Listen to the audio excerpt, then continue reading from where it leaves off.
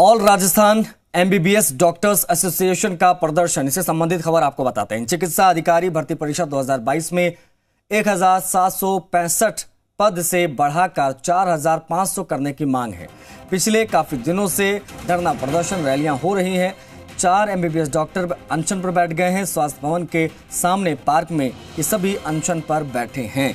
ये इस वक्त की एक बड़ी और अहम जानकारी आपको दे दें।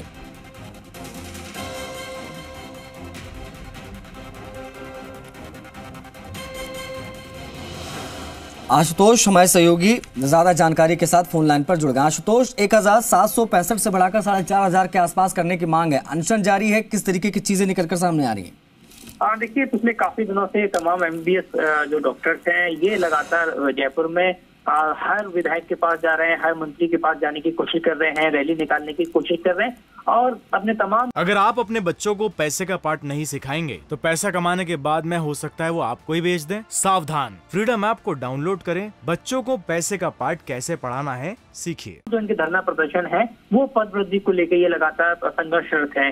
तीन दिन तक इन्होंने रैली निकाली है उसके बाद में आज जाके चार जो एमबीबीएस डॉक्टर्स हैं, ये स्वास्थ्य भवन के सामने, आज अनशन पर बैठे हैं। इनका ये कहना है कि एक तरफ़ जो सरकार है, वो डॉक्टरों को ग्रामीण एरिया में भेजने की बात करती है, गाँव में सेवा देनी चाहिए, इस तरीके की बातें सामने निकल के आती हैं। एक तरफ़ जब हम पद वृद्धि की बात कर रहे हैं मेडिकल ऑफिसर्स के लिए तो वो पद वृद्धि नहीं की जा रही है।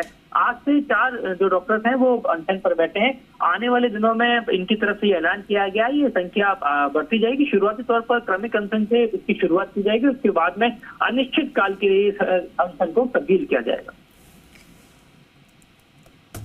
ठीक है, बहुत शुक्रिया आपका, आशुतोष, इन तमाम जानकारियों के लिए।